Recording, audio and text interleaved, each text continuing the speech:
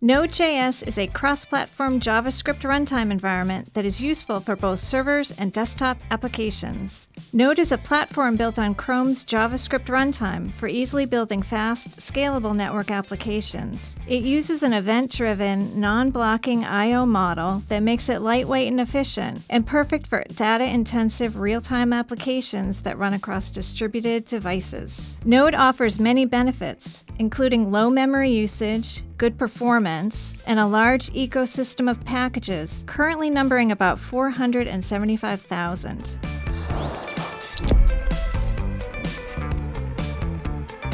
Today we'll discuss several techniques that can improve your Node development experience. To avoid reinventing the wheel, use existing NPM packages when they are applicable to your project.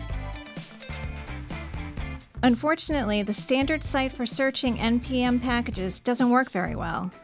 Instead, use npms.io to screen packages for security, stability, quality, and current maintenance.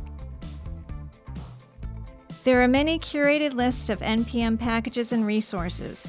One good list, awesome-node.js, can be reached by browsing to node.cool.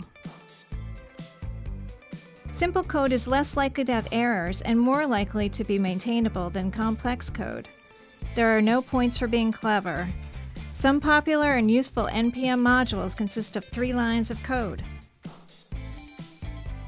Unless you are writing CLI commands, you probably want your app to be responsive while performing longer running operations such as reads and writes, so you should choose asynchronous code over synchronous as much as possible.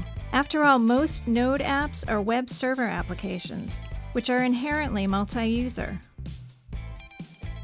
Put all your require statements at the top of the file because they are synchronous and will block the code's execution.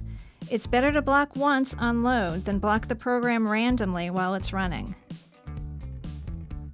Node Security Platform, nodesecurity.io, and Snyk, snyk.io, can help you check that your code is secure and that your open source modules don't have known vulnerabilities.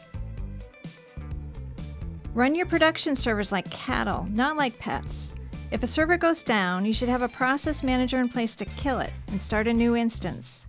Common examples include the Strong Loop Process Manager, PM2, and the Forever and Forever Monitor NPM packages. The needs of a development server differ from the needs of a production server. Use NodeMon instead of Node to run your code, and your process will automatically restart when your code changes. It's hard to catch errors in asynchronous code unless you check every error return value in every callback. The resulting messy code is sometimes called callback hell. The npm okay package allows you to easily bubble errors up your callback chain.